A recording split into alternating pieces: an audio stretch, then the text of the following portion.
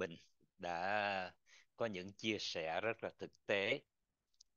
Các bạn đúng là Bảo Bình có những cách uh, trình bày đột đột phá thay đổi thay vì theo cái lối từ trước đến giờ. Các bạn copy từ sách từ tài liệu thì các bạn liên hệ với những thực tế của bản thân.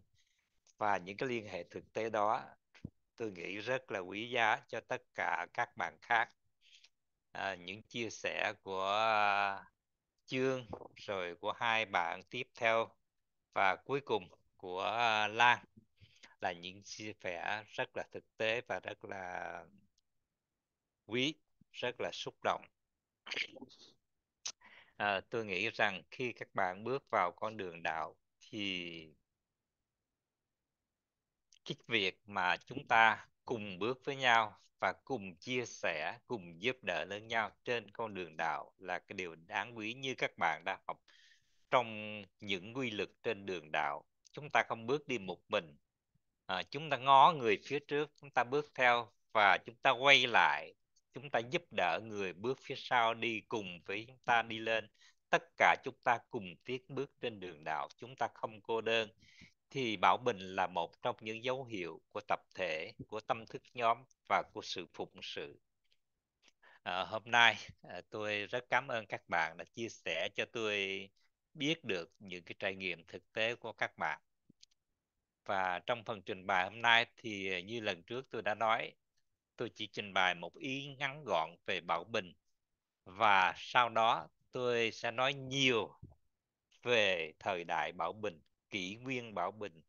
Và tại sao chúng ta có một cái kỷ nguyên bảo bình 2.500 năm hay là 2.160 năm?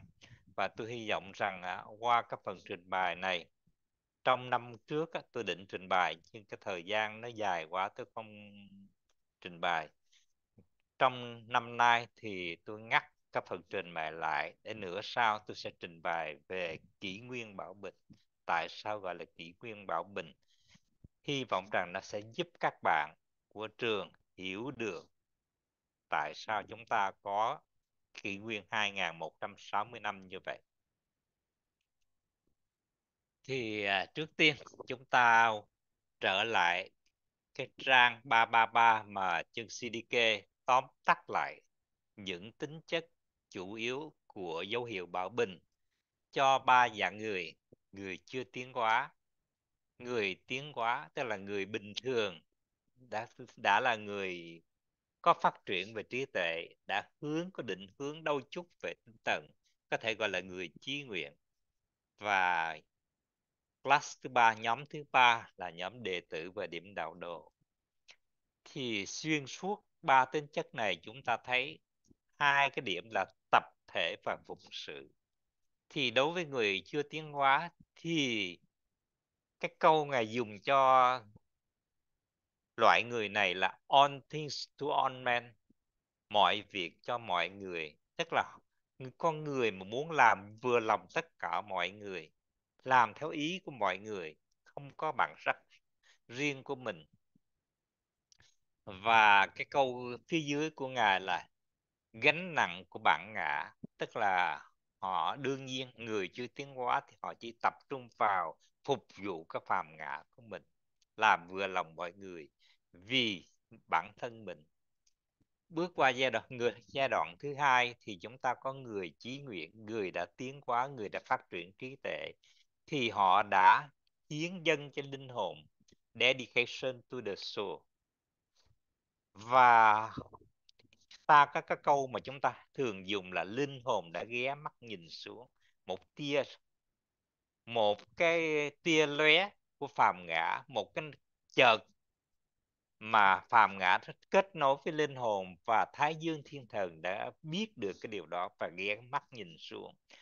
Và ở dưới thì chân CDK thêm một câu là gánh nặng của nhân loại. Chúng ta không hiểu cái từ gánh nặng này là là cái gì mà phải bó buộc phải làm, nhưng mà đây là một cái bổn phận, một cái trách nhiệm thì đối với người tiến hóa thì họ bắt đầu họ nghĩ đến tập thể nhiều hơn, đến nhân loại nhiều hơn. Và bước qua cái nhóm thứ ba thì chúng ta có the server of all men, người phụng sự của tất cả con người. Bây giờ không phải phụng sự bản thân của như người chưa tiến hóa nữa, cũng không phải phụng sự một cái tập thể nhỏ bé. Thí dụ là gia đình của mình, những người thân thuộc của mình hoặc là rộng hơn một chút xíu là công ty hay cái tập thể nhỏ bé xung quanh mình. Mà bây giờ là người phụng sự cả nhân loại của tất cả mọi người. Và người bảo bình mà đã tiến hóa là là điểm đạo đồ rồi thì họ kề vai họ vác gánh nặng thế gian. Hình bên trái các bạn thấy thần Asla đỡ cái quả địa cầu. Đó là biểu tượng của uh, hành tinh thượng đế của chúng ta ngài đang ở với chúng ta 18 triệu năm nay để mà cùng giúp đỡ nhân loại tiến hóa lên. Thì ý tưởng tập thể và phụng sự là hai cái keynote luôn luôn gắn với dấu hiệu bảo bình ở mọi cấp độ.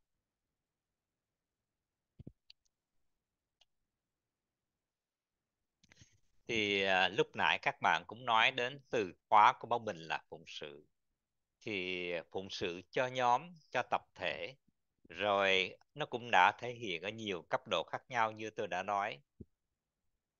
Người bảo bình đây là cái câu mà tôi trích của chân sư đi kê người bảo bình vân dân hiến cho việc phụng sự tập thể và cho phúc lệ phúc lợi của nhân loại ở cấp độ chưa tiến hóa cụm từ on spon tifo hàm ý họ không có bản sắc riêng sẵn sàng làm vừa lòng tất cả mọi người. Và chân sư đi kê có một nhận xét khá thú vị về người bảo bình chưa tiến hóa như sau. Và nói như thế này người bảo bình trung bình đặt tất cả hàng hóa của mình vào cửa sổ à, trưng bày tất cả những gì mình có ra bên ngoài hết. Và thường thì ở phía trong phòng phía sau cái cửa sổ thì không có gì cả câu này ở Esoteric Astrology trang 136 và nó nói lên tức, tính chất là róc hết ruột gan ra phô bày tất cả ra. Sự hời hợt của mình nhưng thật sự bên trong thì không có cái gì cả. Đối với người bảo bình bậc trung, tức là người đã tiến hóa, trên thập trên thập giá khá biến, sẽ trở thành một nhân viên trung thành, một người gắn bó và làm việc trong hàng xưởng doanh nghiệp tất cả các lợi ích của anh ta bị giới hạn trong phạm vi doanh nghiệp đó và tất cả phúc lợi anh ta có được đều hiển dân cho nó và tiến lên trên thập giá cố định sự giới hiến này cho những kẻ khác trở thành việc phụng sự thế gian. Thì à, một nhà quyền bí học khác mà tôi hay nhắc đến là Douglas Baker mà thầy à, hiệu trưởng có nói là một đệ tử trong ashram của chân sư à, người Anh. Ông có viết uh, ba quyển sách về astrology chim tinh học nội môn và 12 quyển nói về 12 dấu hiệu hoàng đạo. Thì ông có nhận xét như thế này. Đó là sự khác biệt và độc đáo là hai cái đặc điểm của người bảo bình. Thì ờ, hồi nãy các bạn nghe bạn Yến cũng chia sẻ thì các bạn cũng nhận ra cái đặc điểm đó thì có thể là do ảnh hưởng của chủ tinh là sao thiên vương người bảo bình không thể đoán trước được về mặt tinh thần. Họ có xu hướng khác biệt giống y như hành tinh sao thiên vương vậy. Nó không quay theo cái hướng giống như mọi hành tinh khác mà nó quay cái góc 90 độ à, ngược lại. Họ có xu hướng khác biệt trong cách nhìn thói quen suy nghĩ và cách tiếp cận với cuộc sống hai từ dị thương và đối nghịch có thể được sử dụng để tóm tắt cấu trúc tâm lý thói quen và quan điểm của những người bảo bình, trung bình. Đó là ông nói để những người trung bình. Khi các bạn vượt qua, tìm cách vượt qua và vượt lên trên, các bạn thể hiện những tính chất này ở một cái vòng xoay xoắn ốc cao hơn, thì sao thiên vương nó là chủ tinh quyền giai của bảo bình sẽ giúp bạn thể hiện những cái tính chất đó ở người bảo bình tiến hóa con người một mình và tách biệt trở thành nhân loại trong các phản ứng và tâm thức của mình. Tuy thế đồng thời lại duy trì cá tính của mình tức là người bảo bình đệ tử và điểm đầu đồ hòa đồng với nhân loại gắn bó với nhân loại nhưng họ vẫn có cá tính riêng của mình. Đó là một cái mâu cái gọi là cái um, mâu thuẫn có thể gọi tạm thời gọi là cái mâu thuẫn của người bảo bình họ sẽ là những người tiên phong của những điều mới mẻ, và họ sở hữu một tầm nhìn khác thường và thường là phi thường. Có thể bao quát toàn bộ kiến thức phong phú của nhân loại, những phong chất mở rộng của chủ tinh sao mộc, mang lại cho họ bề rộng nhận thức và suy nghĩ. Tức là đây là người bảo bình ở cái dòng xoắn cao hơn, thể hiện những cái điều phi thường khác với những người thông thường. Những tầm nhìn vượt xa thời đại thì các bạn thấy hình bên trái Francis Bacon bây giờ là chân sư R tức là một vị Chohan một vị đế quân. À, và một vị Maha Chohan của thánh đoàn và Christian McTuy. Hai vị này đều là có dấu hiệu mộc bảo bình. Họ người bảo bình tiến hóa đặt tất cả những gì mà họ có được vào bình nước của mình.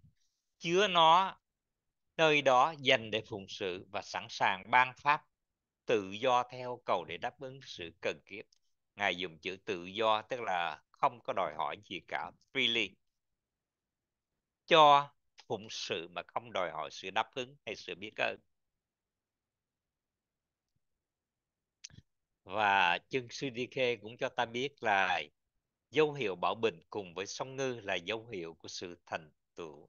Đa phần nhân loại đạt đến đỉnh điểm tiến hóa lần thứ tư và thứ năm của điểm đạo trong dấu hiệu bảo bình và trở thành người phụng sự thế gian.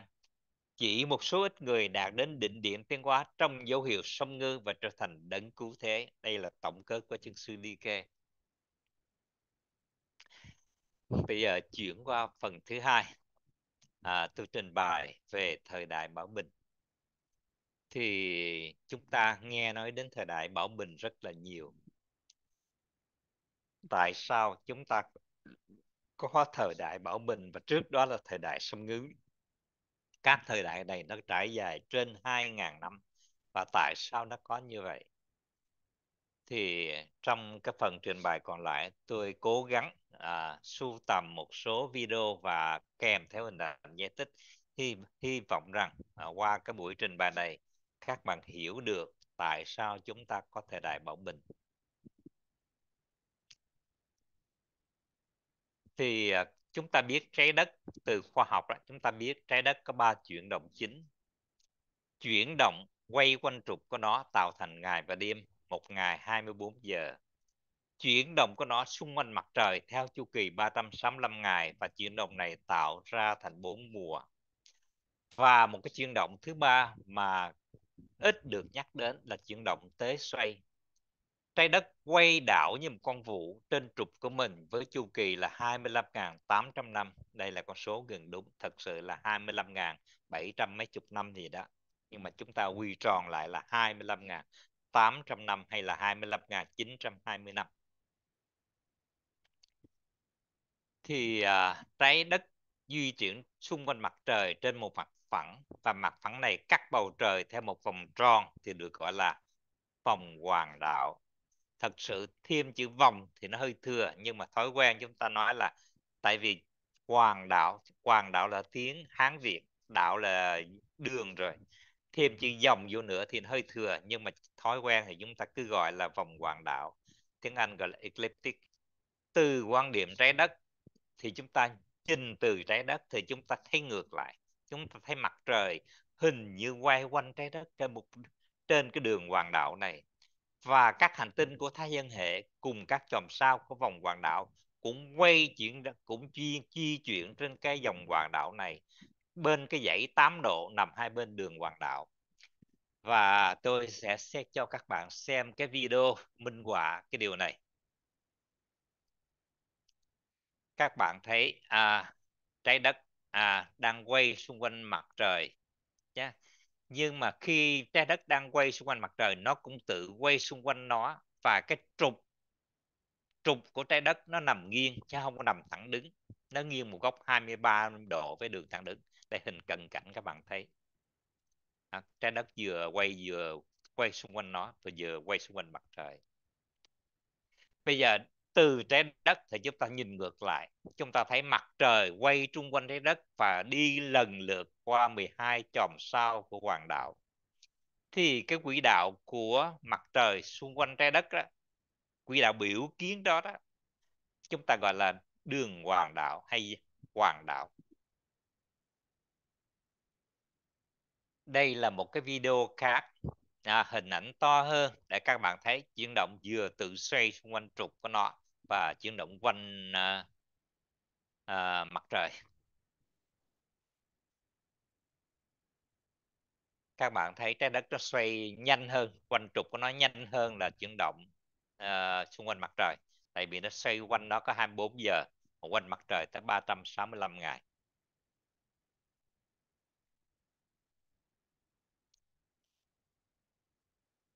Và đến cái chuyển động thứ ba là chuyển động tuế sai. Tuy nhiên thì à, trục trái đất không đứng yên mà nó vẽ một vòng tròn trên bầu trời.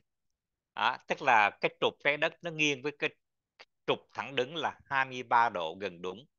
Thì cái trục này nó không cố định mà nó đảo như một con vụ. Các bạn thấy hình bên tay à, bên trái cùng đó các bạn thấy đây là một con vụ các bạn thấy biết con vụ rồi khi mà đứa trẻ nó nó ném con vụ lên mặt đất á, thì con vụ nó đảo vòng như thế này cái trục nó đảo như thế này. Thì trái đất cũng vậy cái trục trái đất như thế này nó sẽ đảo xung quanh trục thẳng đứng một vòng tròn 23 độ. Và cái chu kỳ đảo của nó là 25.800 năm. Thì cái hậu quả của việc đảo trục trái đất như thế này nó khiến cho điểm xuân phân uh, của chúng ta cái điểm xuân phân là điểm căn cứ để xác định các dấu hiệu hoàng đạo. Nó di chuyển chứ không cố định. Đây là cái video minh họa cái à, chuyển động đảo trục của trái đất. Các bạn thấy trục trái đất đảo một vòng tròn trong 25.800 năm. Thì à, đây là cái hình tôi trích từ một cái video và tôi thêm cái chú thích vào. Minh họa thế nào là điểm xuân phân và điểm thu phân? Gọi tắt là điểm phân, equinox. Đường xích đạo trái đất, tức là đường xích đạo các bạn biết, đây là cái mặt phẳng thẳng góc cái trục trái đất. Thì đường xích đạo trái đất cắt bầu trời theo một vòng tròn gọi là xích đạo trời. Điểm phân equinox là điểm mà vòng hoàng đạo cắt xích đạo trời. Tại đây ngày và đêm bằng nhau trên trái đất bằng nhau và thời điểm đánh dấu bắt đầu của mùa xuân tức là bắt đầu của dấu hiệu bạch dương ngày 21 tháng 3 và ngày 23 tháng 9 đây là cái điểm các bạn thấy đây là mặt phẳng uh, xích đạo và đây là đường hoàng đạo hai cái này giao nhau tại hai thời điểm 21 tháng 3 và 23 tháng 9 và điểm 21 tháng 3 gọi là điểm xuân phân là điểm bắt đầu của dấu hiệu bạch dương rồi từ bạch dương chúng ta đến kim ngưu đến uh, song tử vân vân đi tiếp tục 12 dấu hiệu hoàng đạo, mỗi dấu hiệu hoàng đạo chiếm 30 độ của vòng hoàng đạo, bắt đầu từ điểm xuân phân, điểm xuân phân ờ, điểm này. Theo thứ tự Bạch Dương, Kim Ngưu, Song Tử, Cự Giải vân vân như các bạn đã biết. Và đây là video giải thích tại sao khi trục trái đất đảo thì hai điểm xuân phân và thu phân nó thay đổi. Và khi điểm xuân phân thay đổi thì các dấu hiệu hoàng đạo nó cũng dịch chuyển trên cái đường hoàng đạo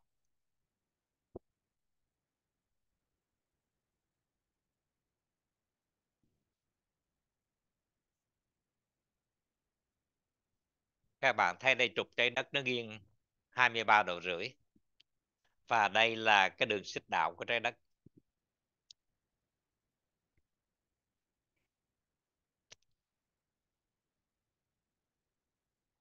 Mặt pha, cái mặt phẳng xanh đây là mặt phẳng xích đạo. Và cái vòng tròn đứt liền đó là dòng hoàng đạo. Và các bạn thấy khi trục trái có đảo một vòng tròn 25.800 năm thì hai cái điểm màu đỏ trên đường màu đỏ nó di chuyển trên dòng hoàng đạo đó là điểm xuân phân và thu phân. Và cái đoạn tiếp theo à, cho chúng ta thấy à, các điểm cái dấu hiệu bạch dương nằm ở đầu cái đường thẳng đỏ đó là cái điểm bắt đầu cái điểm xuân phân. Nó di chuyển lần lượt qua 12 dấu hiệu hoàng đạo 12 chòm sao hoàng đạo cái video vừa qua cho chúng ta thấy khi cái trục trái đất đảo một vòng tròn trong 25.800 năm thì cái dấu hiệu bạch dương ở đằng đầu cái đường này tức là nó chỉ ra cái điểm xuân phân nó di chuyển qua 12 chòm sao của dòng hoàng đạo. Thì à, cách đây hơn 4.000 năm điểm xuân phân của ở nó nằm đúng ở chòm sao bạch dương trùng với dấu hiệu cùng tên nhưng mà từ đó đến nay nó di chuyển lần lượt qua chòm sao sông Ngư. Do đó cái thời đại 2160 năm tiếp theo chúng ta có tên là thời đại sông Ngư và thời đại này đang chấm dứt. Và khi chúng ta bước vào thế kỷ 21, điểm xuân phân đang di chuyển khỏi chòm sao sông Ngư để đi vào Bảo Bình. Và các điểm phân này đó đi lần lượt qua từng chòm sao của vòng hoàng đạo. Đi qua mỗi chòm sao trong 2.600 năm và cứ 72 năm thì đi qua một độ cái đường hoàng đạo. Và đây là cái video, xin lỗi, đã mất đà đây đây là cái video minh họa cho các thời đại khi cái trục trái đất xoay. Các bạn khi thấy cái đây là thời đại sông ngư đến thế kỷ 21 thì chúng ta bước qua thời đại Bảo Bình. Đây là dấu hiệu Bảo Bình. Và 2.000 năm nữa, 4 tới năm 4.000 đó, thì chúng ta qua thời đại Market. Và tiếp tục là thời đại à, nhân mã, rồi cái tiếp đến là thời đại hổ cáp năm 8.000 năm sau công nguyên. Thời đại thiên bình 10.000 năm sau công nguyên. À, sư nữ về 2.000 năm sau công nguyên. Và sư tử 14.000 năm nữa. Cự giải 16.000 năm. Các bạn thấy trục ra rất nó vẽ một vòng tròn màu vàng trên này. Và khi chúng ta đi đến 22.000 năm nữa thì chúng ta trở lại dấu hiệu thời đại Bạch Dương.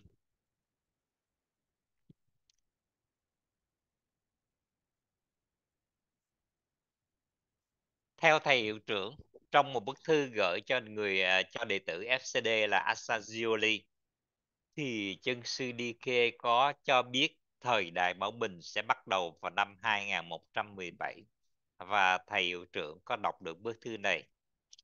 Nhưng chúng ta biết giữa giai đoạn của một thời đại này đến một thời đại khác thì có một cái giai đoạn chuyển tiếp. Thì tạm tính là 500 năm chứ không phải chính xác là 500 năm. Nó có một giai đoạn giao thời, ta hay thường gọi là giai đoạn giao thời hay giai đoạn chuyển tiếp.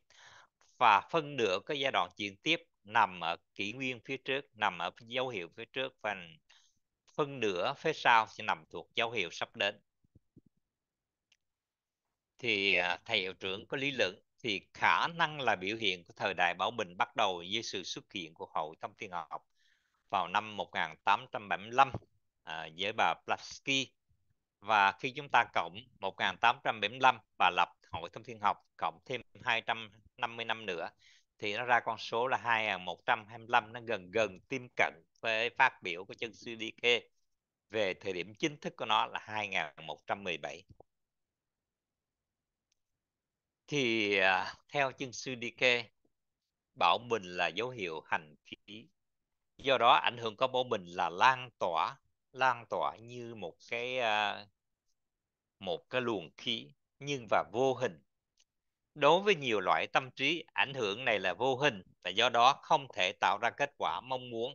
Nhưng thực tế là những kết quả có sức lan tỏa vô hình này có tiềm năng lớn hơn nhiều và tác động của chúng rộng hơn nhiều so với những diễn biến cụ thể và ngoạn mục hơn. Đó, ý của ngài nói, tuy rằng nó lan tỏa, nó không thấy được, nhưng mà nó nó mạnh mẽ và nó thực tế, nó lan tỏa, ngoạn mục hơn nhiều so với những cái dấu hiệu cụ thể chúng ta có thể kiểm lại những thành tựu của nhân loại trong 100 năm qua trong thời đại chuyển tiếp sang thời đại bóng bình để thấy ảnh hưởng này như thế nào. Các phương tiện giao thông nhanh chóng, à, năng lượng nguyên tử đã phát minh, các phương tiện liên lạc thông minh không tưởng đặt ra, trí tuệ ra của con người đã phát triển vượt bậc. Các bạn nghe nói đến trí tuệ nhân tạo à, chỉ trong thế kỷ 21 thôi, chỉ bắt đầu của thế kỷ 21 thôi và chừng 100 năm nữa chúng ta chưa thể hình dung được trí tuệ và cái sự giao thông của nhân loại để phát triển như thế nào. Nhưng mà thì năng lượng và mãnh lực của thời đại bảo bình sẽ khác biệt như thế nào với năng lượng và mãnh lực của thời đại phía trước nó thời đại sông ngư?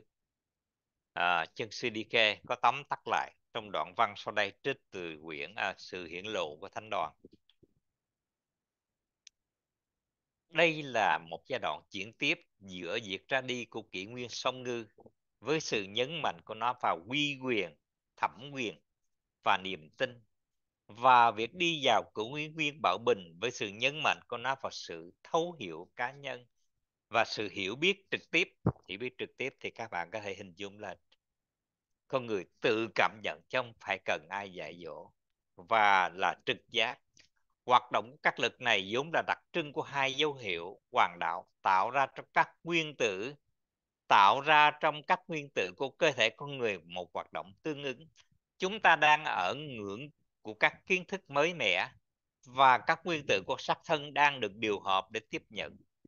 Các nguyên tử có bản chất sung ngư đang tiếp bắt đầu giảm bớt hoạt động của chúng và được triệt thoái về mặt quyền linh như nó được gọi, hay được trù rực nó là chữ triệt thoái đây nghĩa là rút lui. Trong khi những nguyên tử đáp ứng các với các khuynh hướng của kỷ nguyên bậc, kỷ nguyên mới đến phiên chúng được kích thích và hoạt động rung động của chúng được tăng lên.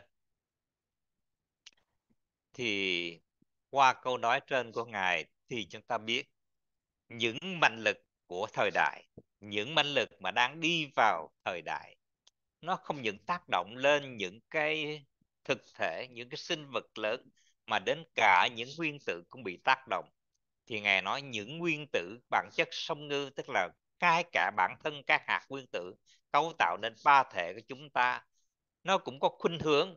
Cái đáp ứng với dấu hiệu cũ sẽ từ từ bị giảm dần ảnh hưởng. Và những cái đáp ứng được với những dấu hiệu mới cũng sẽ được tăng cường, rung động nó lên.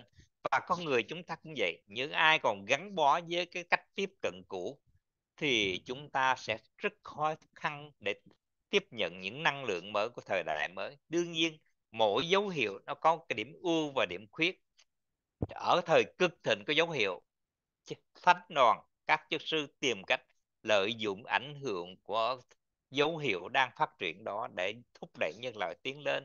Và khi nó đã bước vào giai đoạn cuối thì chúng ta phải biết tiếp nhận cái dấu hiệu mới quay trở lại những mạnh lực cũ là cách đi ngược. Chúng ta có thể gọi là reactionary phản động. Đi ngược lại cái dòng tiến hóa của của nhân loại của thánh đoàn. Đó là cái đường đi ngược chiều tiến hóa là cái điều không khôn ngoan. Thì à, theo bà Bailey trong 2.000 năm nữa bản chất động vật tức là bản chất uh, thú trong con người chúng ta bản chất cảm xúc và bản chất trí tuệ sẽ sẽ là thứ yếu. Nó sẽ lui vào hậu trường. Và linh hồn, sự thôi thúc mà bản chất của linh hồn là sự tập thể, là sự phổ quát trong, sẽ khiến chúng ta có mối quan hệ với thượng đế, sẽ nổi lên phía trước. Nói cách khác, chúng ta sẽ bỏ lại vương quốc loài người. Và mặc dù chúng ta có thể vẫn sinh hoạt trong các thể, nhưng tâm thức của chúng ta sẽ tập trung vào giới thứ năm của tự nhiên là giới tinh thần với linh hồn. Và chân sư đi kê cho chúng ta biết thập độ, tức là decanic đầu tiên của bảo bình do sao thổ cai hỏa do đó, chúng ta bước vào kỷ nguyên bảo bình không phải với những cái điều dễ dàng, dễ chịu. Có những khó khăn, những sao trộn, những thử thách đang chờ đón nhân loại, đang chờ đón tất cả chúng ta để đưa chúng ta từ bóng tối ra ánh sáng. Sang thập độ thứ hai tức là 700 năm tiếp theo thì là do sao thủy cai quản. Thì chủ âm của nó là soi sáng giác ngộ chiếu ngộ à, chiếu sáng. Sự soi sáng đến trong mẫu Bình là I am that. Tôi là cái đó. Tôi là tâm thức nhóm. Tôi là tinh hồn. Và cao hơn nữa I am that I am.